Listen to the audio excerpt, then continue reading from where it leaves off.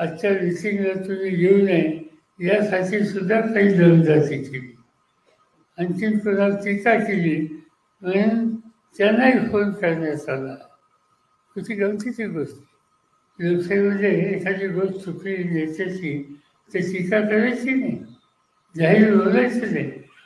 आणि तसं बोललं तर त्याला दमदाटी इथे आमदारांनी तशा प्रकारची दमदाटी झाली. मला त्याला सांगायचे बाबाने तू आमदार कोणावर झाला तुझ्या सगळ्याला इथं फोन आलं होतं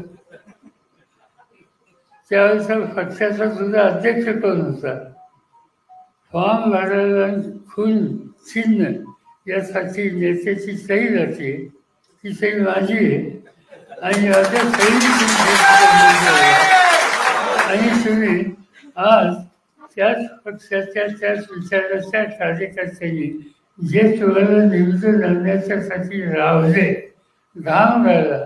आज त्यांना तुम्ही दमदाची कसा माझी विनंती आहे एकदा दमदाची दिली तर वास पुन्हा असं काही केलं तर सरळ सवाल म्हणतात त्यांना.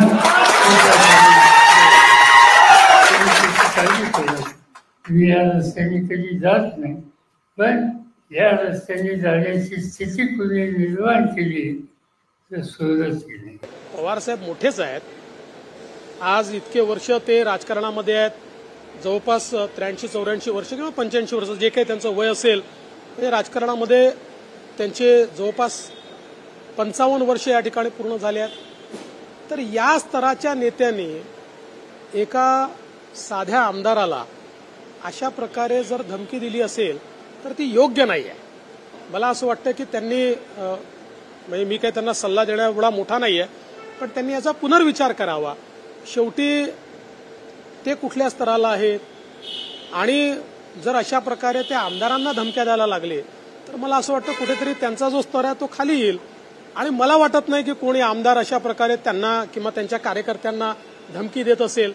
मला असं वाटतं की म्हणजे मी काही त्यांचं म्हणणं ऐकलेलं नाही.